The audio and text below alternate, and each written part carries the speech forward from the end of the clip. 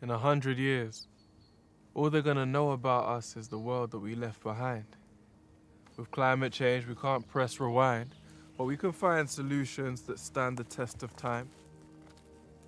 How do I rectify the effect of my fuel consumption on those next in line? How about planting a tree? That's something I could get behind. What if I could be part of a movement? A movement to make a lasting improvement to our daily lives, our larger condition.